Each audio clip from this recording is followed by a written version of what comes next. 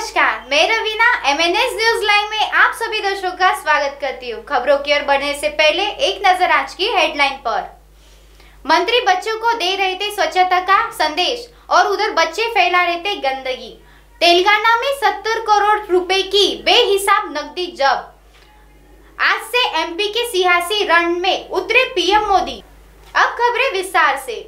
मुरादाबाद ज़िले में विकास मंत्री बच्चों को स्वच्छता के बारे में समझा रहे थे, वही दूसरी ओर बच्चे मैदान में गंदगी फैला रहे थे। बताया जा रहा है कि बच्चे रेलवे स्टेडियम में आयोजित कार्यक्रम के दौरान सामान फेंकते नज़र आए और साथ ही साथ मस्ती करते करते कचरा फैला रहे थे। तेलंगाना में हो रहे चुनाव के चलते आदर्श आचार अहिंसा लागू होने के बाद से अलग अलग जगह पर तलाशी में 70 करोड़ रुपए की बेहिसाब नकदी नोट जब्त की गई। और तेलंगाना में हो रहे चुनाव के चलते आदर्श आचार संहिता लागू होने के बाद से अलग अलग जगह पर तलाशी में 70 करोड़ रुपए की बेहिसाब नकदी नोट जब्त की गई।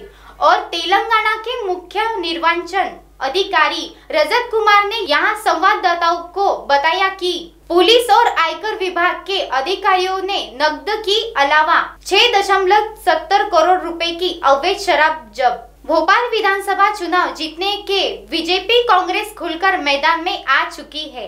एमपी के सियासी रण आज प्रधानमंत्री नरेंद्र मोदी उतर रहे हैं और बता दे कि चुनाव कैंपन का शेड्यूल नरेंद्र सिंह तोमर और प्रदेश प्रभारी विनय सहस्त्र ने तय किया है। तो खबरों में आज के लिए इतना ही। एमएनएस न्यूज़ की खबरें देखने के लिए एमएनएस हिंदी ऐप डाउनलोड करें और हमारे चैनल को सब्सक्राइब करें। तब तक के लिए धन्यवाद।